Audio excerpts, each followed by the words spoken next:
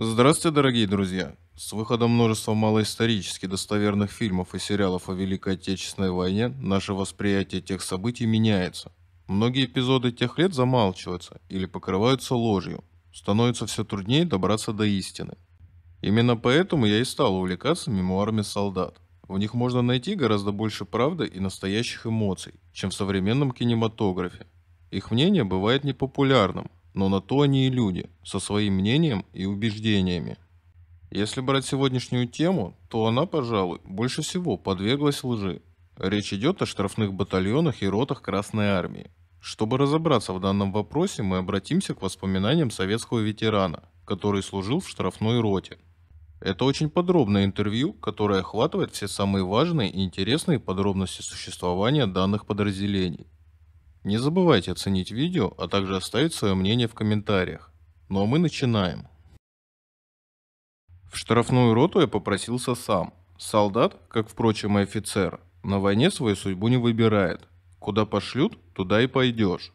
Но при назначении на должность в штрафную роту формально требовалось согласие.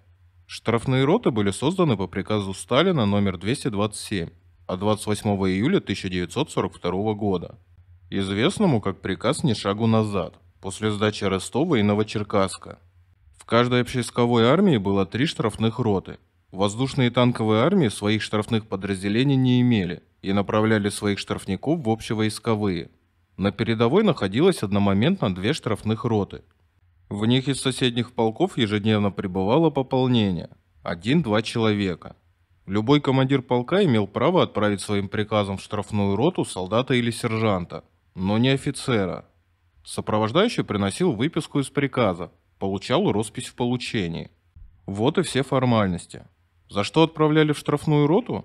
Невыполнение приказа, проявление трусости в бою, оскорбление старшего начальника, драка, воровство, мародерство, самоволка. А может просто ППЖ комполка не понравилось. И прочее, и прочее. Организация штрафной роты следующая – Штат роты – 8 офицеров, 4 сержанта и 12 лошадей. Находится при армейском запасном полку и в ожидании пополнения потихоньку пропивает трофеи. Из тыла прибывает эшелон уголовников, человек 400 и больше, и рота сразу становится батальоном, продолжая именоваться ротой. Сопровождают уголовников конвойные войска, которые сдают их нам по акту. Мы охрану не выставляем, это производит дурное впечатление – тогда как проявленное доверие вызывает к нам некоторое расположение. Определенный риск есть, но мы на это идем. Что за народ? Тут и бандиты, и уголовники-рецидивисты, и укрывающиеся от призыва, и дезертиры, и просто воры. Случалось, что из тыла пребывали и несправедливо пострадавшие. Опоздание на работу свыше 20 минут считалось прогулом, за прогул судили, и срок могли заменить штрафной ротой. С одним из эшелонов прибыл подросток, почти мальчик. Таким, по крайней мере, казался. В пути уголовники отбирали у него пайку. Он настолько ослабел, что не смог самостоятельно выйти из вагона. Отправили его на кухню. Срок заключения заменялся примерно в следующей пропорции. До 3-4 лет тюрьмы – месяц штрафной роты. До 7 лет – 2 месяца. До 10 лет, выше этого срока не существовало, 3 месяца штрафной роты. В штрафные роты направлялись и офицеры, разжалованные по приговору военного трибунала. Если этап большой и своих офицеров не хватало, именно из них назначались недостающие командиры взводов. И это были не худшие командиры. Желание реабилитироваться было у них велико, а погибнуть? Погибнуть и в обычной роте дело нехитрое. После войны статистики подсчитали. Средняя продолжительность жизни командира стрелкового взвода в наступлении не больше недели. Штраф снимался по первому ранению или гораздо реже по отбытии срока. Бывало, вслед раненому на имя военного прокурора посылалось ходатайство о снятии судимости. Это касалось главным образом разжалованных офицеров, но за проявленное мужество и героизм иногда писали и на уголовников. Очень редко, и как правило, если после первого ранения штрафник не покидал поле боя или совершал подвиг, представляли к награде – о результатах своих ходатайств мы не знали, обратной связи не было. В фильме Гуга есть эпизод, где старшина бьет, то есть учит, штрафника, да еще по указанию командира роты. Совершенно невероятно, что такое могло произойти в действительности. Каждый офицер и сержант знает, что в бою они могут оказаться впереди обиженного. Штрафники не ангелы божьи, и в руках у них не деревянные винтовки. Другое дело, что командир роты имел право добавить срок пребывания в роте. А за совершение тяжкого преступления расстрелять. И такой случай в нашей роте был. Поймали дезертира, сами штрафники. Расстреляли перед строем и закопали поперек дороги, чтобы собам память о нем стерлась. Сейчас говорить об этом нелегко, но было другое время и другое отношение к подобному. Владимир Карпов, известный писатель, герой Советского Союза, сам хлебнувший штрафной роты, пишет, что офицеры штрафных рот со своими штрафниками в атаку не ходили. И да, и нет. Если есть опытные командиры из штрафников, можно и не ходить. А если нет или кончились, надо идти самим. Большей частью именно так и бывало. Вот один из многих примеров. Два заместителя командира роты, старший лейтенант Василий Демьяненко и я, повели роту в атаку. Когда задача была уже почти выполнена, меня ранило осколком в грудь. До сих пор помню свою мысль в этот момент. Не упал, значит легко. Ни мы, ни немцы не ходили в атаку толпами, как в кино. Потери бы были слишком велики. Движется довольно редкая цепь. Где бегом, а где ползком. В атаке стараешься удержать боковым зрением товарища. Демьяненко был в шаге 30 от меня. Увидел, что меня шатнуло, и я прыгнул в воронку. Подбежал. Куда? Молча показываю на дырку в полушубке. «Скидай!» Весь диалог – два слова. Он меня перевязал. Осколок пришелся по карману гимнастерки, в котором лежала пачка писем и фотографий из тыла. Учитывая наш возраст, не только от мамы, это и спасло, иначе осколок прошел бы на вылет. В медсамбате ухватили этот осколок за выглядывающий из-под ребра кончик и выдернули. И я сразу вернулся в роту. Как же я все-таки попал в штрафную роту? При очередной переформировке я оказался в офицерском резерве 51-й армии, которой командовал генерал-лейтенант Якор Григорьевич Крейзер, после войны генерал армии. Крейзер получил звание Героя Советского Союза в 1941 году, будучи командиром первой Московской пролетарской дивизии. В армейском тылу я был впервые. Поразило огромное количество праздных офицеров всех рангов, с деловым видом сновавших с папками и без. Неужели для них всех есть здесь работа? Чем ближе к передовой, тем меньше народа. Сначала тыловые, хозяйственные специальные подразделения, медсамбаты – артиллерия покрупнее, а потом помельче. Ближе к передовой минометчики. Подойдешь к переднему краю, охватывает сиротливое чувство. Куда все подевались? На войне, как на войне. Каждый знает, чего он не должен делать. В офицерской столовой еду разносили в тарелках. Я был потрясен. По поселку парами прогуливались молодые женщины и девушки в госпитальных халатах. Не сразу сообразил, что меня в них озадачило. Ни бинтов, ни костылей, ни руки на каретке. Спросил у проходящего офицера, кто это? В ответ услышал, ты что, лейтенант, дурной? Это венерический госпиталь. Мужчин в тот период войны не лечили, только если попадешь по ранению в госпиталь. Скучно. Ни я никого не знаю, ни меня никто не знает. К концу недели услышал, что погиб заместитель командира армейской штрафной роты и я пошел в управление кадров. Не спешите записывать меня в герои. Я не храбрец, скорее наоборот. Но я уже воевал в пехоте и знал, что большой разницы между обычными стрелковыми ротами и штрафными нет. Да, штрафные роты назначаются в разведку боем, на прорыв обороны противника или встают на пути его наступления. А обычные стрелковые батальоны не назначаются – Именно в рядовом стрелковом батальоне обычного стрелкового полка, назначенном в разведку боем, я должен был погибнуть. И когда объятое черным отчаянием сознание угасло, меня спас мой товарищ Саша Кисличенко, погибший в следующую минуту. И все эти годы я мучительно думаю, если бы он не пополз меня спасать, остался бы Саша жить. Так что рисковал я немногим. Сыну врага народа, кроме стрелкового батальона, ничего не светило. Зато преимуществ много. Первое. Штрафные роты, как правило, в обороне не стоят. Пехотные солдаты поймут меня и без подробностей. Полное наше наименование – отдельная армейская штрафная рота, ОА. Последние две буквы послужили основанием к тому, что позывные штрафных рот на всех фронтах были одни и те же – «Шура». Но особое значение имели первые две буквы. Для обычной роты, кроме своих командиров, в батальоне было два заместителя – порторг комсорг.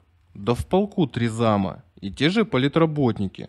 Еще и в дивизии штабные и политотдел. И все они, поодиночке или скопом, в затишье между боями, когда хочется написать письмо или просто отдохнуть, являются по твою душу занудствовать по поводу чистых подворотничков, боевого листка, партийного и комсомольского собрания. В штрафную роту не придет никто. Мы не их. У них и своих забот хватает. И никто, тем более на фронте, не станет делать больше положенного. А партийной или комсомольской организации у нас просто нет. Штрафные офицеры стоят на партучете в запасном полку, и там изредка платят взносы. Командир штрафной роты по своим правам приравнивается к командиру полка и подчиняется в оперативном отношении тому командиру дивизии, которому будет придан для конкретной операции. Это входит в понятие отдельное. А армии не до нас. У них дела поважнее.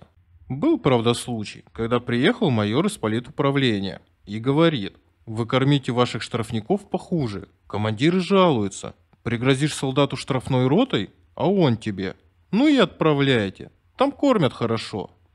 И это так. Обычная рота получает довольствие в батальоне, батальон в полку, полк с дивизионных складов, а дивизия с армейских. Еще Карамзин заметил, если захотеть одним словом выразить, что делается на Руси, следует сказать – воруют. Не нужно думать, что за 200 с лишним лет что-нибудь изменилось. Во всех инстанциях сколько-нибудь да украдут. Полностью до солдата ничего не доходит. А у нас, как это ни странно, воровать некому, и здесь вступает в силу слово «армейское». Наш старшина получает довольствие непосредственно с армейских складов. Правда? И ему смотрят в руки. Но мы не бедные, что-нибудь из трофеев и привезем. Продукты старшина получает полностью и хорошего качества. Водку не разбавленную. Офицерам привезет полушубки длинные и не суконные бриджи, а широкие галифе синей шерсти – и обмундирование для штрафников получит не последнего срока, а вполне приличное. Кроме того, у нас есть неучтенные кони. Вместо 12 лошадей – небольшой табун. При необходимости забиваем коня помоложе. И что там твоя телятина? Кому-то и огород спашем. Да, еще один важный фактор. Помимо извечной русской жалости к страдальцу-арестанту, каждый тыловой интендант всегда опасался когда-нибудь загреметь штрафную обеспечивали нас честно. Были и другие преимущества. Полуторный оклад, ускоренная даже против фронтовой выслуга лет. Впрочем, я этого почти не ощутил.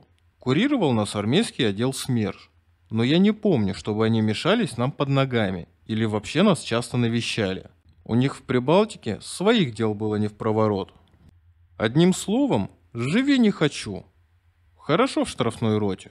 Хорошо-то хорошо, да не очень. Ближе к концу войны, когда никто уже не хотел умирать, дезертировали сразу три человека. Мы с командиром роты предстали перед светлые очи членов военного совета армии, который в популярной форме, с употреблением фольклорных выражений, чтобы было привычнее и понятней, разъяснил, что мы, по его мнению, из себя представляем. Достал из какой-то папки наградные листы на орден Александра Невского на командира и на орден Отечественной войны первой степени на меня. Изящным движением разорвал их и бросил под стол, одновременно сообщив, что присвоение нам очередных воинских званий задержано. И уже в спину бросил найти и расстрелять. Не нашли и очень жалели, что не нашли и не расстреляли. Тогда, теперь не жалею. Случались и многие другие эксцессы, за которые совсем не гладили по головке. В литературе утвердилось понятие «штрафные батальоны». Батальон – это звучит гордо.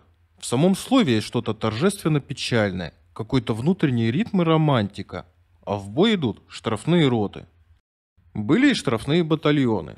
Это совсем другое. Штрафные батальоны создавались при фронтах. В конце войны их было в армии около 70. Практически по одному штрафному батальону на каждую общевойсковую армию. В них рядовыми бойцами воевали неразжалованные трибуналом офицеры, в чине до полковника включительно. У каждого своя причина попадания в штрафбат.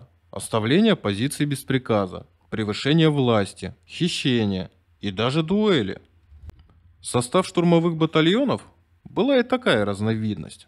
Вышедшие из окружения или бежавшие из плена командиры Красной Армии, прошедшие чистилище лагерей НКВД, где должны были доказать, что не бросили оружие и не перешли на сторону врага добровольно. Для них сроки не варьировались. Срок был один для всех – 6 месяцев. Численность переменного состава штрафных подразделений на практике строго не регламентировалась. Батальон мог иметь до тысячи человек. Полк. Но могло быть и всего 100 человек. В управлении кадров на меня посмотрели с некоторым удивлением. У нас там любители работают. Отвечаю. И я буду любитель. Не в тыл прошусь. Получил предписание и задумался. Надо бы с чем-то в роту прийти. Выбор тут небольшой. Постучался в крестьянский дом. Краснее протянул солдатское белье. Хозяйка вынесла бутыль самогона, заткнутую бумажной пробкой. Вещмешка я не носил. Бутыль в полевую сумку не влезает. Запихнул в карман шинели. На подозрительно торчащее горлышко напялил рукавицу. На попутных машинах быстро добрался до передовой. Минометчики, стоявшие на опушке леса, показали на одинокое дерево в поле. КП командира роты. И сказали, ты до вечера туда не ходи. Это место снайпер держит на прицеле. Помаялся я, помаялся. До вечера еще далеко. Дай, думаю, рискну. И дернул, что было сил. Тихо. Снайпер, видимо, задремал. В углу землянки сидел малого роста старший лейтенант. Он представился. Демьяненко Василий, зампостроевой. И подозрительно покосился на мой карман. Спросил. «Шо это у тебе рукавица на супроти настромлена?» Достаю бутыль. Дем'яненко сразу расвел. «О, це діло! І командиру оставимо!» Так я попал в штрафную роту. Насколько сильной была мотивация штрафников искупить кровью свою вину? Не следует думать, что все штрафники рвались в бой. Вот вам пример. Атака захлебывается. Оставшиеся в живых залегают среди убитых и раненых. Но нас было намного больше. Где остальные? Вдвоем с командиром роты, капитаном Шучкиным, под немецким огнем возвращаемся к исходному рубежу. Так и есть. В траншее притаились, в надежде пересидеть бой, группа штрафников. И это когда каждый солдат на счету. С противоположных концов траншеи, держа в каждой руке по пистолету, в левой привычный ТТ, а в правой трофейный паребулум, он тяжелее – Чуть не разрываясь на траншеи, одна нога на одном бруствере, другая на противоположном, двигаемся навстречу друг другу. И сопровождая свои действия соответствующим текстом, стреляем над головами этих паразитов, не целясь и не заботясь о целостности их черепов. Они проворно вылезают и бегут в цепь. Сейчас, когда вспоминаю этот эпизод, думаю, господи, неужели это был я? В штрафных и штурмовых батальонах подобного не может быть. Здесь все поставлено на карту. Эти офицеры не лишены званий и в большинстве случаев не имеют судимостей. По ранению или отбытию срока они имеют право на прежние должности. Право-то они имеют, но, как правило, возвращались в части с понижением. В одном из таких батальонов своей блестящей атакой, положившим начало Яско-Кишиневской операции, воевал мой товарищ Лазарь Белкин. В день атаки выдали им по 200 граммов водки, привезенной на передовой прямо в бочках. Дали по полпачки махорки и зачитали приказ. В 5 часов утра, после залпа «Катюш», батальон идет в атаку. В 5 часов все приготовились. Тишина. В 6 часов – тишина. В 7 утра сообщили. Наступление отменяется. Разочарованные солдаты разбрелись по траншеи. Через 3 часа новый приказ – Наступление ровно в 10. И никаких «Катюш». В 10 часов батальон в полной тишине поднялся в атаку. Без криков «Ура!». Но это был не простой батальон, а батальон штрафников. Захватили три ряда траншей. Немецкие шестиствольные минометы развернули в сторону противника и дали залп. Навстречу Лазаря бежал к пулемету немецкий офицер. Лег за пулемет. В упор. И вот счастье. Осечка. Ленту перекосило или еще что. Офицер кинулся бежать. Поздно. Граната Лазаря уже летела. У противника создалось впечатление, что здесь наносится основной удар. Немцы поспешно стали подбрасывать технику и подкрепления. До позднего вечера батальон отбивал атаки, и к ночи остатки батальона вынуждены были вернуться на исходные позиции. Из почти тысячи человек в живых на ногах осталось 130. Большинство участников атаки было ранено, примерно треть погибло. В фильме Гуга, например, заградотряд вызывает симпатии не больше, чем бы вызвал отряд немецких карателей. Ваше мнение о заградотрядах? В этом кинофильме со странным названием есть много досадных погрешностей. Вранье в малом вызывает недоверие ко всему остальному. Я уже говорил, в атаку толпами не бегают, но таковы, по-видимому, законы жанра. Массовость – наш конек. У командира рота погоны полевые, а пуговицы на шинели золотые, и звездочка на фуражке красная. И это на фронте. И звездочка и пуговицы были зелеными. Но особую досаду вызывает заградотряд. Заградотряды никогда не сопровождали штрафные роты на фронт и не стояли у них за спиной. Заградотряды располагаются не на линии фронта, а вблизи контрольно-пропускных пунктов, на дорогах, на пунктах возможного отхода войск, хотя скорее побегут обычные подразделения, чем штрафные. Заградотряды не элитные части, куда отбираются бойцы-молодцы. Это обычная воинская часть с несколько необычными задачами, Всегда заградотрядцев больше, чем штрафников. Так и напрашивается желание поменять их местами. Почему-то все одеты в новенькое. Откуда такая роскошь? Шинели с красными вшитыми погонами. Вшитые погоны полагались только генералам. Все остальные, от рядового бойца до полковника, носили престижные. На фронте заградотряд в касках. Это ж додуматься надо. Каски и в боевых подразделениях не очень-то жаловали. Может, в 42 году заградотряды дров наломали. Но кто бы остановил бегущие в панике части? А справедливость на войне искать бесполезно. Вы сказали, что у вас нет ни малейшего желания подробно разбирать сериал «Штрафбат». И тем не менее, хоть несколько замечаний по сериалу. У этого сериала есть только одно достоинство – прекрасная игра актеров. Все остальное – полный бред. Простите за резкое высказывание – Остановимся на главном. Никогда офицеры, сохранившие по приговору трибунала свои воинские звания, не направлялись в штрафные роты, только в офицерские штрафные батальоны.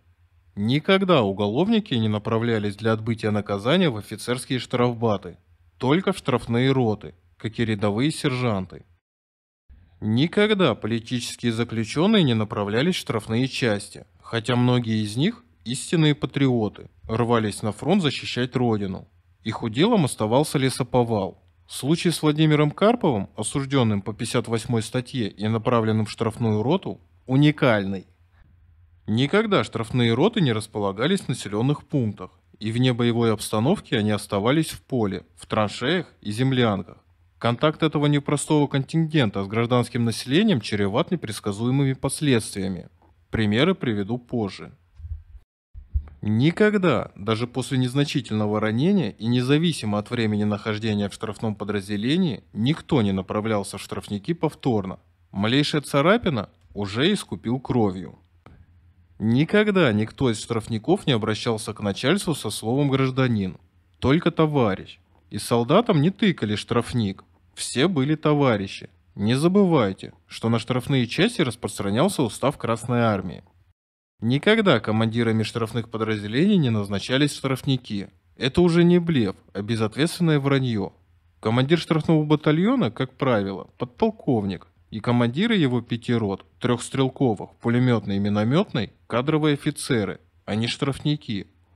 Из офицеров-штрафников назначаются только командиры взводов. Благословление штрафников перед боем – чушь собачья, издевательство над правдой и недостойное заигрывание перед церковью. В Красной Армии этого не было и быть не могло.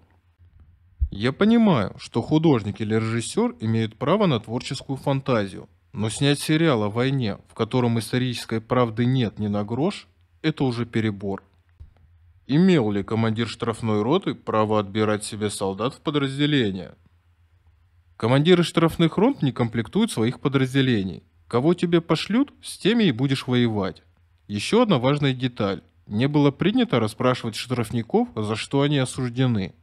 И кто из бойцов, бывший уголовник-рецидивист по кличке Васька Жиган, а кто бывший орденоносец-пулеметчик, знал только наш штатный офицер-делопроизводитель. В его ведении находились личные дела контингента штрафной роты. Существует довольно распространенное заблуждение, что все штрафники были пламенными патриотами. Были ли случаи перехода солдат из штрафных частей на сторону врага? Конечно, хотя в моей роте таких случаев не было зафиксировано. Куда переходить? К немцам в Курлянский котел? Социальная почва для переходов была, многих обидела советская власть. Бывшие раскулаченные, сыновья репрессированных, считались потенциально кандидатами на переход. Перебежчиков в конце войны было очень мало, но если быть предельно честным, то скажу, что такое позорное явление, как дезертирство, было довольно распространенным. Мало кто знает, но с 1942 года действовал секретный приказ – родственников и земляков во избежание сговора и перехода на сторону врага в одно подразделение не направлять. Только с середины 1944 года этот приказ строго не выполнялся. Я многократно был свидетелем приема пополнения в обычном стрелковом полку. Командир полка шел вдоль строя и выдергивал людей не по списку, а указывая пальцем. Рядом стояли командиры рот и составляли поименные списки. Если боец выживал после первых боев и хорошо себя в них зарекомендовал, он мог в дальнейшем попросить командиров о переходе в другую роту к земляку или родственнику. Но это было редко. Каждый уже привыкал к новым товарищам, и заботы у людей уже были другие. Женщины были в штрафных ротах? Женщин в штрафные роты не направляли. Для отбытия наказания они направлялись в тыл, в тюрьму. Впрочем, и случалось это крайне редко. Нет в штрафных ротах и медработников. При получении задания присылают из медсамбата или соседнего полка медсестру. В одном из боев медсестра была ранена. Услышав женский крик на левом фланге, я поспешил туда. Ранена она была в руку. По-видимому, не тяжело. Ее уже перевязывали. Но шок, кровь, боль. Потом, это же еще передовая, бой еще идет. Чего доброго могут добавить. Сквозь слезы она произнесла монолог, который может быть приведен лишь частично. Как любить, она употребила другой глагол, так всем полком ходите, а как перевязать, так некому. Вылечусь, никому не дам. Сдержала ли она свою угрозу, осталось неизвестным. Использовалось ли штрафниками трофейное вооружение и обмундирование? Оружие трофейное использовалось повсеместно и было очень популярным. Старшине сдаем оружие, выбывших из строя. А он в грузбух свой смотрит и спрашивает, чем вы там воюете? По всей видимости, все оружие роты давно сдали. И без трофейного пистолета в конце войны трудно было представить любого пехотного командира. Это было повальное увлечение. А вот с обмундированием – перебор. Никто не будет по передовой бегать в немецком кителе, особенно в бою. Свои сразу дуриком убьют, а потом будут разбираться. И хоть ты по-русски в это время будешь петь вдоль по питерской, примут за власовца и выстрелят. Сапоги у многих были немецкие. Не век же в обмотках ходить. Простите, что вновь напоминаю сериал «Штрафбат», но эпизод с походом штрафников в разведку, насколько он реален? Повторяю, это полный бред. Представьте, ушла в разведку группа штрафников и не вернулась. Пропала без вести или перебита на нейтралке, и никто не знает, кто погиб, а кто попал к немцам. Что скажет на допросе в свое оправдание командир роты, когда особисты пришьют ему оказание помощи в умышленном переходе на сторону врага? Где мы такого смелого найдем? Если штрафники и ходили в разведку, то только вместе с офицерами из постоянного штата роты. Да не уголовников брали в разведходы, а бывших полковых разведчиков, уже имевших опыт разведпоисков. Далее, штрафники почти никогда не стоят в обороне. Это ударное подразделение, рассчитанное на несколько атак, на прорыв обороны противника. Всю информацию о противнике, включая разведданные, получают непосредственно из оперативного отдела и штаба дивизии. Так зачем штрафникам в разведку ползать? Языков коллекционировать? Пару раз перед разведкой боев нас просили по возможности взять в плен немца, но особо не настаивали, сверхзадачу не ставили. Один раз захватили немецкого майора. Вел он себя нагло, нас материл по-немецки. Возиться с ним не стали и застрелили. Никто не захотел за него орден получать. Слишком убежденный нацист попался. Но больше всего бесит, что в сериале «Штрафники» немцев в плен берут чуть ли не каждый божий день. Мы что, с дебилами воевали? На фронте, пока одного языка добудут, немало разведгрупп в землю косьми ляжет. А тут? Словно на танцы идут во дворец культуры, а не за линию фронта. В офицерских штрафных батальонах в разведку ходили нередко, но там командиры доверяли штрафникам, а с нашей публикой разговор особый. Боялись ли вы выстрела в спину? Сводили ли таким образом штрафники счеты с командирами? Насколько это явление было распространено в штрафных частях? Такое случалось нечасто. В избежание подобных эксцессов к штрафникам и старались относиться как к обычным солдатам. С уважением говорили с каждым, но никто с ними не заигрывал и самогонку не жрал. Им, штрафникам, терять нечего. Там принцип «умри ты сегодня, я завтра». Но были случаи, я слышал о них, и в карты могли взводного проиграть. Что поделать, публика такая. Но если командир роты вел себя как последняя сволочь или своей безграмотной властью расстреливал тех, кто ему не понравился, то шансов схлопотать пулю в ближайшем бою от своих подопечных у него немало. Но, например, если неформальный лидер, как говорили пахан, из уголовной братья начинал чрезмерно нагло права качать, мол, всем по литру спирта, иначе в атаку не пойдем, разговор с ним был коротким. Да и в обычных стрелковых подразделениях такое иногда происходило. Конечно, только на передовой. Например, я знаю достоверный случай, когда свои же солдаты шлепнули в бою комбата. Командир батальона был грубая тварь, унижавшая солдат и офицеров, гробившая людей зазря. Всю инициативу проявлял, ордена зарабатывал. Чтобы охарактеризовать эту гниду, приведу один пример. У него в батальоне боец Гринберг подорвал гранатой себя и 12 немцев в захваченном блиндаже – Ротный подошел и заикнулся, мол, героя или к ордену надо представить. В ответ от комбата услышал, одним поганым жидом меньше стало. Его свои бойцы застрелили, весь батальон знал, и никто не выдал. Понимаете, никто не выдал. Это сталинские-то времена. Не всегда солдат был безмолвной серой скотиной, посланной на убой. Но мы в штрафной роте всегда старались завоевать доверие солдат и делили с ними вместе все лишения. В штрафных частях захватывали немцев. Или? В основном или. Сейчас вам этого не понять. А тогда? К концу войны ожесточение достигло крайних пределов, причем с обеих воюющих сторон. В горячке боя, даже если немец поднял руки, могли застрелить, как говорится, по ходу пьесы. Десятки случаев были, когда пробегали мимо, и тот же уже сдавшийся враг поднимал с земли автомат и стрелял в спины атакующих. А если немец после боя вылез с траншеи с поднятыми руками, то у него шансы уже были выжить довольно высоки. А если с ним сдавалось еще человек 20 комрадов, никто их, как правило, не тронет. Но снова пример. Рота продолжает бой. Нас остается человек 20, и надо выполнить задачу дальше. Захватили 8 немцев. Где взять двух-трех лишних бойцов для конвоирования? Это захваченных румын сотнями отправляли в тыл без конвоя.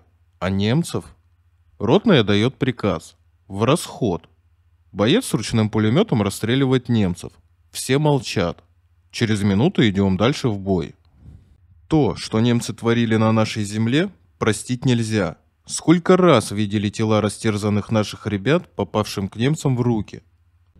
Под Шауляем немцы выбили соседний стрелковый полк из села Кужи и захватили наш медсамбат, расположившийся в двухэтажном здании. Нашу роту бросили на выручку пехоте, но мы не могли пробиться. Танки перекрыли подступу к селу и расстреливали нас в упор. Отошли на высоту и видели в бинокле, как немцы выбрасывают наших раненых из окон и жгут живьем. О каких пленных после этого может идти речь? Штрафники их брали относительно редко, это факт. У многих семьи погибли, дома разрушены, люди мстили. А какой реакции следовало ожидать? Эсэсовцы, танкистов и власовцев убивали часто прямо на месте. У нас были солдаты, прошедшие немецкие лагеря. После всех ужасов, которые они испытали, все слова замполитов о гуманности были для них пустой звук. Еще страшный эпизод. В 1943 году, летом, наш стрелковый батальон пошел в атаку. Брали село в лоб, шли на пулеметы. После боя в живых осталось совсем немного счастливчиков. На земле сидел и истекал кровью командир роты. Осколком ему оторвало нижнюю челюсть. Подвели человек пять захваченных немцев. Боец спрашивает, куда их? Ротный достал из полевой сумки блокнот, вырвал листок и кровью на нем написал «Убить». Но был случай там же, под Шауляем, который до сих пор не дает мне покоя. Нашу оборону перешел человек без оружия, в поношенной гражданской одежде. Никаких документов при нем не было. Быть может, бежал из лагеря и пробирался домой. На свою беду он ни слова не понимал ни по-русски, ни по-немецки. Позвали литовца. То же самое. А он говорил и говорил, пытаясь хоть что-то объяснить. Скорее всего, это был латыш или эстонец, но никто не знал ни латышского, ни эстонского языка. Проще всего было отправить его в вышестоящий штаб. Но с ним надо было послать конвойного. Расстрелять проще. Как говорил великий вождь, нет человека, нет проблемы. Я пытался предотвратить расправу. Начальство посмотрело на меня с недоумением. Еще и обругали. Неоднократно, когда я пытался остановить расстрел, мне мои же товарищи говорили, «Ты почему их жалеешь? Они твою нацию поголовно истребили». Мне больно обо всем этом вспоминать. Были жесткие приказы, запрещавшие расправы над захваченными немцами. Во многих дивизиях они строго соблюдались. Я видел немало штрафников, осужденных за такие расправы. Но... Особенно грешили расстрелами не окопники, а штрафная челядь. Тех же румын надо было по дороге в лагерь от героев второго эшелона охранять. Те любили по безоружным пострелять. Немцы всегда знали, кто стоит на передовой перед ними. Если знали, что перед ними стоит штрафники, то дрались с нами более стойко и ожесточенно. Мы сами создали себе это удовольствие, благодаря отношению к захваченным немцам. Все эти росказни, что у немцев поджилки тряслись при виде атакующей штрафной роты, не имеют под собой никакой основы. Немцам было глубоко плевать, кто на них идет в атаку. Психологически, наверное, немцам было тяжело воевать против штрафных офицерских батальонов. Слишком велико желание штрафбатовцев искупить кровью свои грехи перед Родиной. Но воевали немцы толково, умело и храбро. Как не тяжело это признать. Как освобождались штрафники, не получившие ранения в боях? Заседал трибунал для принятия решения об освобождении от наказания, или их дела рассматривал кто-то другой? Командир роты имел право отменить наказание за героизм даже тем бойцам, у которых не истек срок пребывания в роте, указанный в приговоре. А на деле происходило так. После нескольких операций у нас оставалось около двух десятков бойцов. Не ранены, но в боях участвовали. И мы с полным основанием передаем их в соседний стрелковый полк. Все бумаги с гербовой печатью заполняются на месте и выдаются солдатам. В штаб идет только список искупивших и проявивших за подписью командира. Солдаты сдают оружие. И здравствуй вновь Красная Армия. Они получат оружие в своих новых подразделениях. Никаких заседаний трибуналов или консультаций с особистами. До последнего солдата мы не воевали. Далее, кто из последнего состава оставался живой, возвращался в армейский запасной полк в ожидании очередного эшелона с уголовным пополнением. Привозят каторжан, подписываем акт о приемке. Личный состав строится, и мы выходим к роте. Командиры представляются, каждый в отдельности. Потом строим в расположении роты – Штрафники получали оружие непосредственно у нас. Получили обмундирование, распределились по взводам. Все достаточно прозаично. Никто не ездил в тыл набирать штрафников. Отличался ли национальный состав штрафных рот от обычных стрелковых рот? Нацменов было меньше, чем в стрелковых подразделениях. В основном у нас были славяне. Евреев среди солдат штрафной роты практически не было. За 8 месяцев моего пребывания в роте на войне это очень большой срок. Попался только один еврей, и меня немедленно позвали на него посмотреть. Это был портной из Прибалтики, и он не выглядел удрученным или несчастным. У евреев высоко развито чувство долга. Если и попадали в штрафную, то только случайно или за какую-то мелочь. Ну и командир-антисемит мог упечь штрафную. И такое бывало. Хотя Семенария в своих воспоминаниях упоминает несколько евреев, своих товарищей по штрафной роте. На войне никогда не знаешь, где окажешься завтра. Среди офицеров моей роты было трое украинцев и четверо русских. Зато соседней штрафной ротой командовал еврей Левка Корсунский с манерами одессита Мишки Япончика. Явившись в тихую минуту к нам в гости на шикарном трофейном фаэтоне, запряженном парой красавцев коней, он снял с левой руки шикарные швейцарские часы и бросил налево. Снял с правой и бросил направо. Это был жест. Современному человеку трудно объяснить. Часы были предметом постоянного вожделения и нередко служили наградой. Не знавшие ни слова по-немецки, наши солдаты быстро научились произносить «Вифель из Диур». Ничего не подозревавший немецкий обыватель охотно доставал карманные часы, и они немедленно перекочевывали в карман к воину-победителю. После войны долго разыскивал Корсунского и Тещина, но безуспешно. Как сложилась их судьба? Живы ли? Доводилось ли вам после войны встретиться с кем-нибудь из бывших штрафников вашей роты? После победы я некоторое время служил в Венспилспе. Однажды утром навстречу попалась группа моряков. Надо сказать, что отношения с моряками было непростыми и не всегда мирными.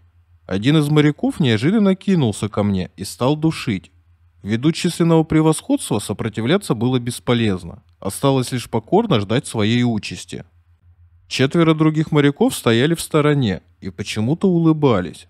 Прежде чем я понял, что моей драгоценной жизни, особенно после войны, ничего не угрожает, мои новые, только накануне тщательно прилаженные погоны оказались безнадежно смяты.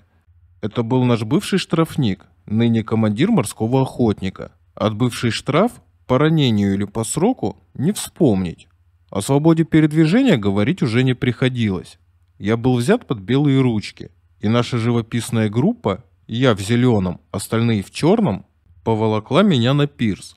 Корабли стояли на другой стороне венты. Один из моряков встал на скамейку и стал размахивать руками. Я понял. Флажковая сигнальная азбука. С корабля заметили, что-то написали в ответ. Быстро спустили шлюпку. И вскоре мы все очутились в тесном кубрике. Стол был уже накрыт. Дальнейшее вспоминается смутно. Были ли в вашей штрафной роте случаи насилия или грабежей мирного населения? Моя рота заканчивала войну в Прибалтике, а тогда эта земля уже считалась советской территорией, а литовцы и латыши были уже соответственно советскими гражданами. По этой причине наша блатная компания вела себя относительно пристойно. По закону военного времени за бандитизм предусматривался расстрел на месте. Жить хотели все, но был один позорный инцидент, запятнавший нашу роту. В самом конце войны наш штрафник, грузин по фамилии Миладзе, изнасиловал несколько женщин в ближайшем к месту дислокации роты хуторах. Поймали его уже 9 мая, вместо вполне заслуженной высшей меры он получил всего 8 лет тюрьмы. А надо было к стенке поставить. Допустим, штрафник искупил вину кровью и вернулся в обычную войсковую часть. Влиял ли факт его пребывания в штрафных подразделениях на дальнейшую карьеру или награждение? Возвращали обычно с понижением в должности, а иногда и в звании. Немало бывших офицеров-штрафников в конце войны командовали батальонами и полками. Я таких двоих знал лично. В наградах за последующие боевые достижения, как правило, ограничивали. В штабных канцеляриях перестраховщиков хватало всегда – я слышал только о двух бывших штрафниках, получивших впоследствии звание Героя Советского Союза. Это Карпов и командир саперного батальона из нашей 51-й армии, Иосиф Серпер. Оба получили звание Героя, если я не ошибаюсь, только после третьего представления к звезде Героя. Был еще, кажется, сержант-артиллерист, тоже Герой Советского Союза, успевший в свое время повоевать в штрафной роте. Возможно, таких людей было немало. Я не обладаю полной информацией по этому вопросу. Одно знаю точно, что в официальных источниках эта тема никогда не затрагивалась. Да и офицеров постоянного состава штрафных подразделений наградами баловали не особо щедро. Пишут, что только один командир штрафной роты, азербайджанец Зия Буниятов, стал героем СССР. Но было еще несколько человек. В наградных листах на них писали «командир ударного батальона» или «роты», избегая слова «штрафной». Если в пехоте комбата, прорвавшего укрепленную оборону противника, могли сразу представить к высокой награде, вплоть до высшего звания, то на нас смотрели как на специалистов по прорывам. Мол, это ваша повседневная работа и фронтовая доля. Чего вы еще хотите? С ласовцами приходилось сталкиваться. Как к ним относились солдаты? Мы их люто ненавидели – вот сейчас пишут, что почти миллион бывших советских граждан служил в германской армии. Пусть в основном в вспомогательных частях, но эти люди предали родину. Пытаются выставить бывших коллаборационистов борцами за свободную Россию. Для нас, фронтовиков, они были и есть предатели и изменники. Даже те, кто пошел на службу к немцам, чтобы не умереть с голоду в лагерях. Не могу оправдать. Миллионы предпочли смерть, но остались верными своему долгу. Очень трудно установить критерий, по которому можно судить человека, когда его собственная, один раз дарованная жизнь висит на волоске, да еще таком тонком, таком неверном, и может оборваться каждое следующее мгновение, как только что на его глазах оборвалась жизнь товарищей. Даже если обойтись без пафоса, ответьте – если твой вчерашний однополчанин надел вражескую форму и повернул оружие против своих, кто он? Борец с коммунистами? Противник колхозного строя? Или сволочь, предавшая свой народ? Власовцами называли всех бывших советских граждан, служивших в немецкой армии. Приходилось и с ними сталкиваться. Разные были встречи. Один раз захватили в бою бывшего майора РККА в немецкой форме, Начали его допрашивать. Он молчит, а потом вдруг крикнул. «Стреляйте, суки! Ничего вам не скажу! Ненавижу вас!» Конечно, потом все сказал. Из бывших раскулаченных крестьян советскую власть ненавидел всей душой, да и наших убил немало. До трибунала он не дожил. Другой случай покажется вам неправдоподобным. Мы стояли против немецкой линии обороны всего в 70 метрах. Нейтральной полосы фактически не было. В немецких окопах сидел батальон власовцев. Они кричали нам из страшей свои фамилии и места проживания родных. Просили написать их домашним, что они еще живы. Рядом со мной стоял лейтенант, командир взвода. Я заметил, как его лицо передернуло судорогой. Он резко развернулся и ушел по ходу сообщения в блиндаж. Уже в конце войны он рассказал мне, что тогда он услышал голос своего отчима, воспитавшего его с пяти лет. А родного отца лейтенанта расстреляли в ЧК еще в 1921 году. Отец был священником. Что здесь добавить? Когда через два дня утром мы пошли в атаку, в окопах сидели уже немцы. Власовцев сменили предыдущей ночью. Некоторые из нас, наверное, были в душе этому рады. И не потому, что власовцы дрались до последнего патрона. Тут были другие эмоции – мой товарищ, Женя Зеликман, при штурме Кенигсберга был командиром роты в 594-м стрелковом полку, в котором мне пришлось хлебнуть лихо летом и осенью 1942 года. Мир тесен, как говорится. Он рассказал, что когда немцев прижали к морю на косе Фрейшгав, они жесточенно сопротивлялись, но вскоре поняли, что это бессмысленно, и стали пачками сдаваться нам.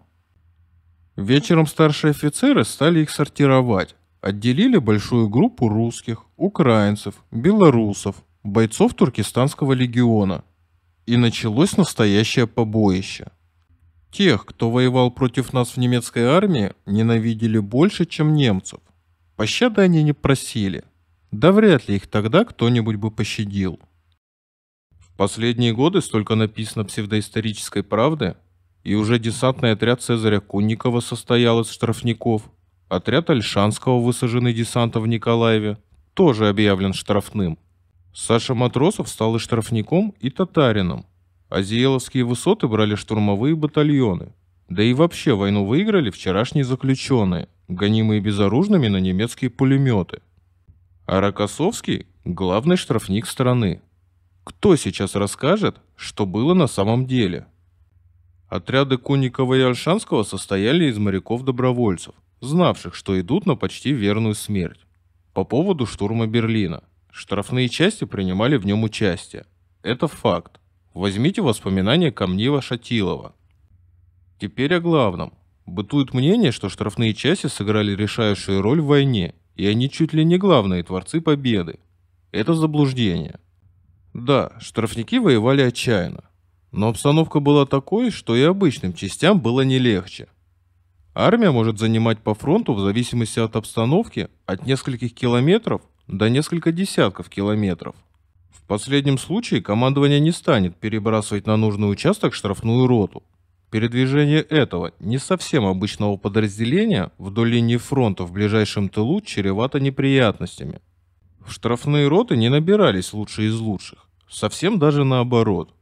И в разведку боем будет назначен обычный стрелковый батальон – свежий, либо с соседнего участка, и очень редко тот, кто занимает здесь оборону. Чистая психология. Солдат приживается к своей траншее, к своему окопу, и ему труднее покинуть обжитое место и подняться в атаку. Это учитывается. Штрафные роты и батальоны сыграли свою важную роль на войне, но утверждение, что у Рокоссовского воевали одни штрафники – глупость. Да и составляли они не более 1% от численности армии. По поводу особистов что-нибудь скажете? И о приказе номер 227? Не надо демонизировать служивших в особых отделах. Последнее время в любом кинофильме о войне, кроме августа 44-го, особистов показывают этакими садистами, бродящими с наганом в тылу и ищущими, в какой бы солдатский затылок стрельнуть. Надо просто уяснить, что часть армейских чекистов и контрразведчиков боролась со своим народом и является преступной, но большинство выполняли свой долг в соответствии с установками того непростого времени. Вам сейчас этого не понять. На фронте летом 1942 года остатки полка отвели в тыл, выстроили. Особист вывел незнакомого мне солдата на середину под охраной двух бойцов, зачитал приговор. Солдат был признан самострелом, Помню только одну фразу из речи особиста. «Лучше погибнуть от немецкой пули, чем от своей». Застрелили этого солдата. В начале войны долго не церемонились. Расскажу еще трагический случай, произошедший у меня на глазах. О приказе Сталина номер 227 вы знаете, текст вам знаком. Бессмысленно спорить сейчас, хороший или плохой был приказ. В тот момент необходимый. Положение было критическим, и вера в победу на пределе. Командиром минометной роты в нашем полку был 22-летний Александр Ободов. Он был кадровым офицером и до войны успел окончить военное училище.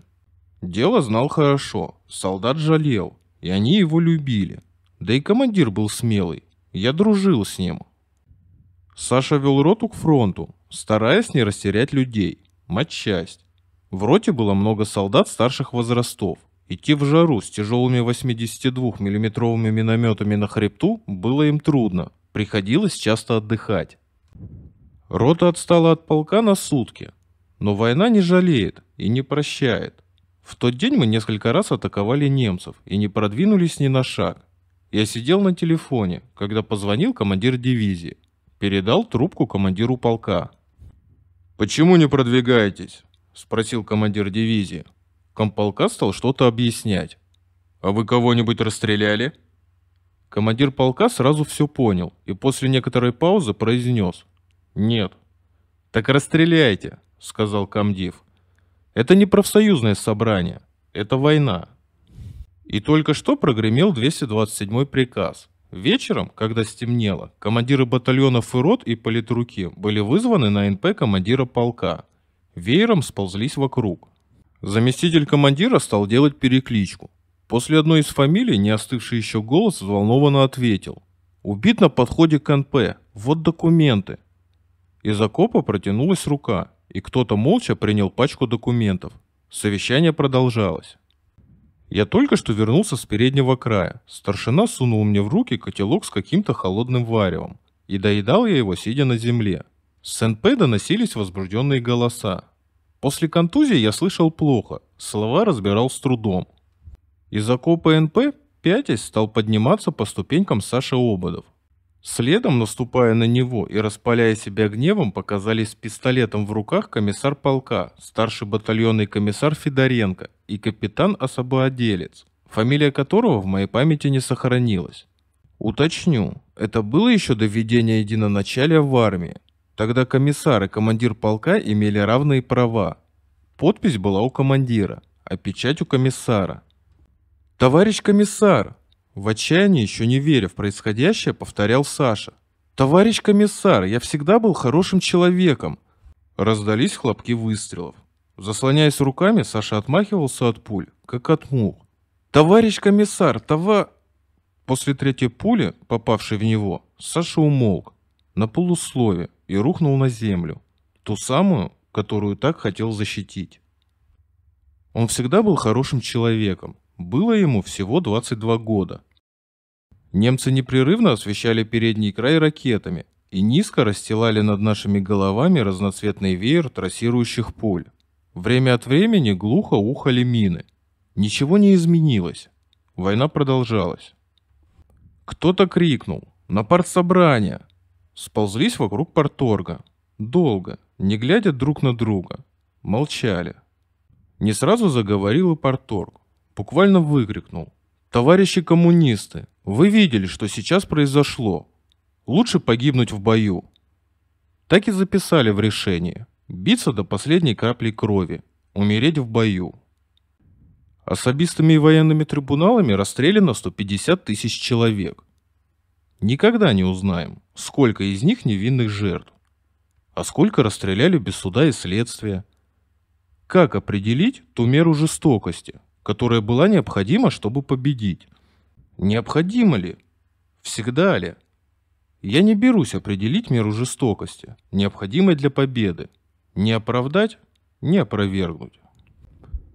Вообще, нужно ли сейчас озвучивать всю горькую и тяжелую правду о войне? Не знаю даже, что вам еще рассказать, чтобы вы поняли, какой страшной бывает война. Сколько людей уже ушло из жизни, так и не поведав людям, что им пришлось испытать, не рассказав свою правду войны. А сколько еще живы, но молчат, думая, что никому это уже не надо. Мой товарищ Алексей Дуднев, командир пулеметного взвода, раненый в голову, пуля попала под левый глаз и вышла в затылок, выползал из окружения. Полз по полю боя, вокруг убитые свои и чужие – на горизонте показалась редкая цепочка людей. Они шли к передовой, время от времени наклоняясь. «Санитары», — подумал он и пополз им навстречу. До слуха донесся пистолетный выстрел. Не обратил внимания. Раздалось еще два сухих хлопка. Насторожился, присмотрелся. Люди были в нашей форме, из азербайджанской дивизии. И тогда он понял. Мародеры. Пристреливают раненых и обирают убитых. Остаться в живых после смертельного ранения и погибнуть от рук своих? Хотя какие это свои? Они хуже фашистов. Пристрелят, горько подумал он, но продолжал ползти. Встретились. С трудом повернув голову, он попросил. «Ребята, пропустите». И они его пропустили. То ли сжалились над его молодостью, то ли автомат – которым все равно не мог воспользоваться, произвел впечатление. Но пропустили. Еще не веря в свое второе спасение, пополз дальше и к утру приполз в медсамбат. Медсамбат был другой дивизии, и его не приняли. Фронтовики знают, что в наступлении медсамбата, как правило, принимали раненых только своей дивизии и очень неохотно из других соединений. Там такой поток раненых идет, что обрабатывать их не успевали, это было ужасно обидно и казалось кощунством. Сейчас можно возмущаться сколько угодно. Но так бывало нередко. Дали Алексею кусок хлеба. Есть он не мог, рот почти не открывался. Отщипывал маленькие кусочки, проталкивал сквозь зубы и сосал. И полз дальше, отдыхал и снова полз.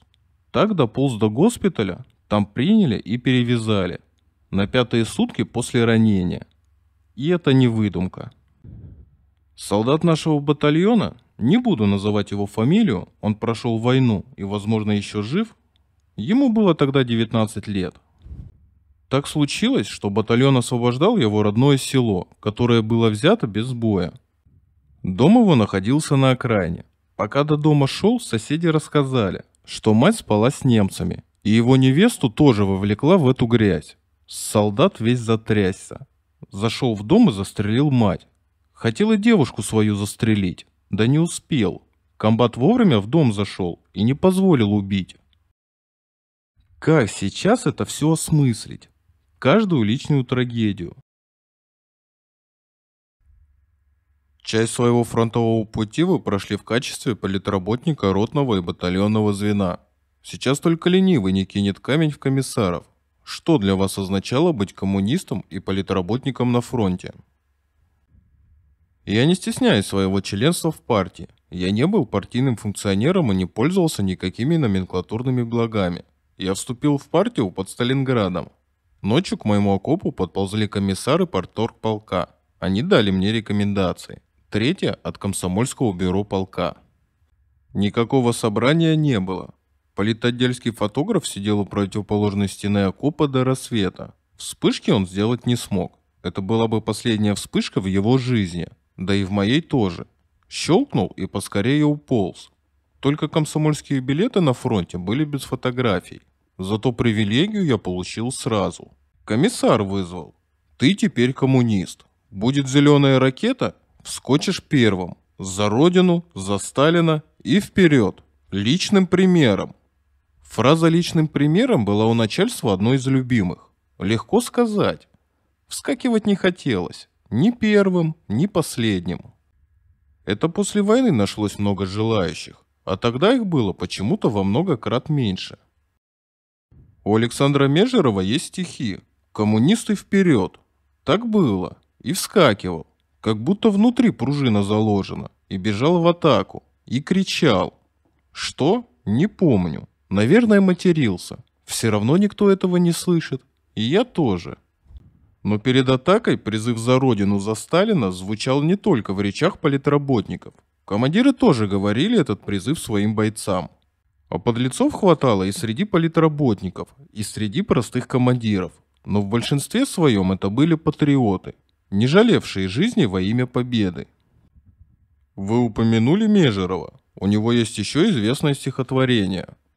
Мы под Колпином скопом стоим, артиллерия бьет по своим. Такое у вас случалось? Конечно. Иногда и свои штурмовики, и свои артиллеристы нас угощали. Была такая шутка. Прицел 5, по своим опять. Но чаще били по немцам. Как правило, получали от своих только в наступлении если по связи не успевали доложить вовремя о нашем продвижении вперед. Я под залп своих «Катюш» один раз попал. Трудно передать мои ощущения в те минуты. О подобных случаях вам расскажет каждый окопник. На войне всякое случалось. Наградной темы коснемся? В 1942 году солдата нашего полка наградили медалью за отвагу. Весь полк собрали на митинг по поводу его награждения. Награждать начали щедро только с 1944 года, и не всегда по боевым заслугам. А от нас вообще не зависело, дадут орден или медаль. Послали наградной лист, а потом ищи свищи. У меня так было не один раз. В принципе, никакой справедливости в этом отношении не было никогда. Я видел солдат после шести ранений, с одинокой медалью на груди. В штаб приезжаешь, там сплошные иконостасы на кителях. В штрафную роту я пришел с двумя орденами Красной Звезды, а за последний фронтовой год получил Орден Отечественной войны. Хотя в штрафной роте за каждую атаку можно было справедливо и спокойно по ордену давать. Я за наградами не гонялся и у начальства не выпрашивал. Один раз только, в 1943 году, спросил комполка, что слышно про орден Красного Знамени, которому был представлен. А в ответ услышал что-то типа в стране на вас всех скоро благородного металла не хватит. Но для него, конечно, хватило. Я начальству заты сапоги не вылизывал. Был писарь в штабе, некто Писаренко. Полное соответствие должности и фамилии. Так он наградной лист уничтожил. Фамилия ему моя не понравилась. Потом мне в госпиталь письмо написал. Каялся. Погиб он глупо, в конце войны. А что дали или что не дали, какая сейчас разница? Евреев в наградах очень часто ограничивали. Помимо своих примеров, я знаю много десятки подобных случаев. В пехоте, в отличие от танковых или артиллерийских частей, антисемитизм был махровым и процветал. Не забывайте еще одну немаловажную деталь. Я был сыном врага народа. В личном офицерском деле это было указано. Вот, например, у Григория Поженянина, дважды представленного к званию героя и не получившего этого звания. На личном деле было написано красным карандашом «Мать еврейка, отец – враг народа». Тогда подобная аннотация звучала совсем не смешно. Беседуя с фронтовиками, спрашиваю, что было самым трудным на войне? Многие отвечают – фронтовые дороги. Опишите пехотного солдата на марше – на пехотном солдате всего навешено, как на том ишаке. Иного, кто ростом не вышел, не видно из-за навьючного снаряжения. И скатка, и вещмешок, и противогаз, будь он не ладен, и каска, и саперная лопатка, и котелок, еще сумка полевая, да 3-4 подсумка с патронами. В противогазную сумку гранат напихаешь, ну и винтовка или автомат. Пот льет ручьями, на просушенных солдатских гимнастерках проступают белые пятна соли. Снимаешь гимнастерку – коробом стоит. Пыль фронтовых дорог. В освобожденных селах угощали семечками. Немцы называли их русский шоколад. Семечки помогали скоротать дорогу. Шинельный карман отщелкал 10 километров. Вот такой был солдатский спидометр. Переходы по 80 километров вспоминаются как кошмар. Спали на ходу. Да еще по 4 82-миллиметровых мины на шею повесит. С миной падать не рекомендуется, особенно во второй раз. От удара мина могла встать на боевой взвод. Идешь, все тело от пота и в шее дико зудит. Желудок от голода к спине прилипает. Так и дошли до победы. Свой последний бой или последний фронтовой день помните? Боем это не назовешь. Но как я встретил последний день войны, я вам сейчас расскажу. Курляндия. Уже сообщили, что Берлин взят. Взяли высотку. Готовимся к атаке. Саперы сделали проходы в минных полях перед нами. Напротив немецкие доты и четыре вкопанных в землю танка. До немцев метров 300. День не обещал быть приятным. Смотрим, над немецкими траншеями шатаются белые флаги и исчезают. Все разочарованно вздыхают и матерятся. Вдруг белый флаг твердо возвысился над бруствером. На всякий случай артподготовку мы отменили. К нашим окопам никто не идет. Видно, боятся получить в спину пулю от своих. Все смотрят на меня. Вроде я один знал немецкий язык, и иногда приходилось допрашивать немцев. Боец, стоявший рядом, мне говорит, «Да если что, мы от них мокрое место оставим». И оставят. Такое подразделение. Только я не увижу того самого мокрого места.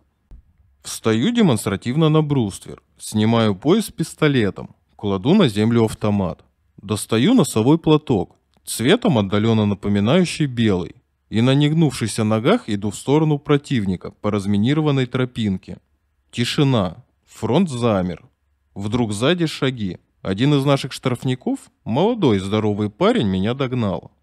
Пошли дальше вдвоем и добрались до немецкой обороны целыми. Спустились к немцам в траншею.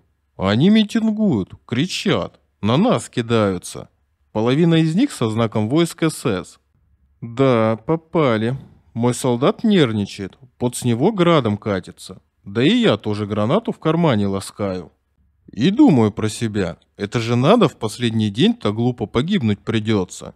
Немцы говорят быстро, я от волнения слов не разберу. Привели к оберсту. А у меня ступор. Кроме Сталина гуд, Гитлер капут, не могу ничего внятно сказать. С трудом овладел собой и командным голосом заявляю. Гарантирую жизнь, питание, сдаваться. Выходить колонны через проход в минном поле. Следовать строем в наше расположение. И так далее, и так далее. Оберст только кивает. Понял, что я еврей. До разговора со мной не унижается. Пошли назад. Я все эти метры ждал выстрела в спину. Обошлось. Когда немцы шли сдаваться, бойцы кричали «Ура!» и обнимались. Все понимали, что война для нас кончилась, и мы остались живы. Немцев разоружили, освободили от часов и отправили дальше в тыл. По случаю завершения войны весь личный состав нашей роты был амнистирован. Пили на фронте много? Полагалось ли штрафникам 100 граммов наркомовских? Как и всему личному составу фронтовых частей, зимой, а также в наступлении, вне зависимости от времени года – я на фронте пил мало. Бутылку водки делили спичечным коробком, поставленным торцом. Пять коробков, бутылка поделена. Самогонку бойцы часто доставали. Бывало, и древесный спирт по незнанию выпьют. И погибают в страшных муках. Очень много народу погибло на войне по пьяному делу. Немцы досконально знали нашу психологию и часто покидая оборонительные рубежи в каком-нибудь населенном пункте, оставляли нетронутую цистерну спирта на железнодорожных путях или целехонький завод винокурный. А через пару часов отбивали этот пункт снова. У нас уже воевать было некому. Все были в стельку. Примеры. Любого фронтовика спросите, чего стоит только первое взятие Шауляя – но дикий случай произошел на станции Попельня. Взяли станцию, а там цистерна спирта. Начали отмечать боевой успех. Через несколько часов на станцию прибыл эшелон немецких танков. Спокойно разгрузились и выбили нас оттуда. Наши танки Т-34 стояли без экипажей. Танкисты изрядно приняли на грудь. А пьяных командиров, решивших, залив глаза, погеройствовать за чужой счет, хватало. Это я знаю не из книги Симонова. Самого так начальники погнали на штурм высотки. Эту высоту полком было невозможно взять, а погнали мою единственную роту. Как водится, с обещаниями. Не возьмешь высоту – расстреляем. Видел я и как пьяный генерал застрелил командира батареи за то, что тот осмелился возразить, получив тупой гибельный приказ. Мой комбат Иващук тоже погиб, будучи пьяным. Выехал на белом коне на передний край и начал немцев матом крыть. Немцы кинули пару мин, и Ващука легко ранило. Был бы трезвым, может быть, развернулся и ускакал бы в тыл. Но он продолжал что-то немцам кричать, угрожая в сторону их окопов кулаком. Следующая мина его накрыла. Нелепая смерть. После всего пережитого на передовой вам никогда не хотелось довоевывать во втором эшелоне? После госпиталя я пару месяцев служил в батальоне связи. Отдыхал от войны, так сказать. Но и там люди погибали. Своей судьбы не знает никто. Как-то шли по полю с командиром роты связи. На нас катушки с проводом на 400 метров. Появился в небе немецкий пикировщик и стал за нами охотиться. Всего лишь за двумя людьми в военной форме.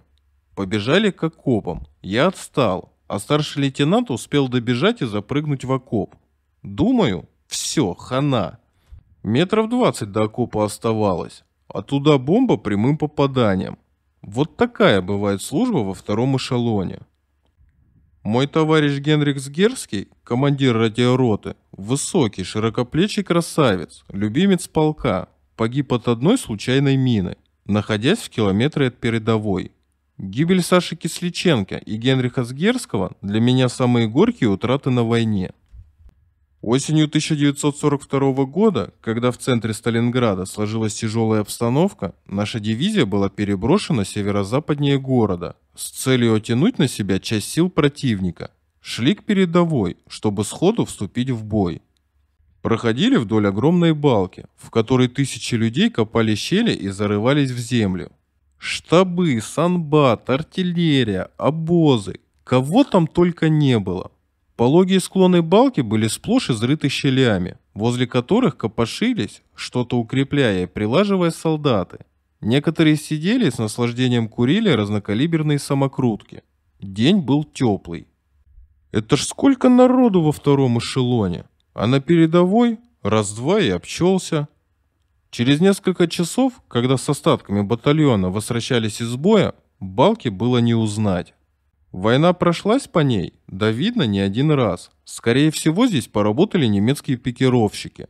Все изрыто, исковеркано, ни одной уцелевшей щели, ни одного окопа. Узкая дорога посередине балки завалена разбитой техникой, перевернутыми и сломанными бричками. Еще дымились опрокинутые кухни с солдатскими щами. И трупы, трупы, трупы. Их еще не успели убрать. Мы, подавленные увиденным, с трудом пробирались по балке, осторожно переступая через трупы людей и лошадей. Я шел и думал, это ж сколько людей погибло. Вот тебе и второй эшелон. Нет, на передовой лучше. Почему люди вашего поколения, хоть и звучит это странно, называют годы войны лучшим временем своей жизни?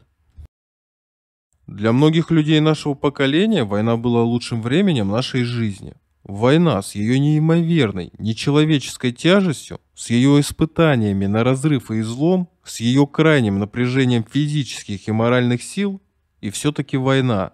И дело не только в тоске по ушедшей молодости – на войне нас заменить было нельзя и некому. Ощущение сопричастности с великими, трагическими и героическими событиями составляло гордость нашей жизни. Я знал, что нужен здесь, сейчас, в эту минуту, и никто другой. На этом сегодня все. Конец интервью. Если понравилось видео, то поддержите его лайком, а канал подпиской. Всем пока. До новых встреч.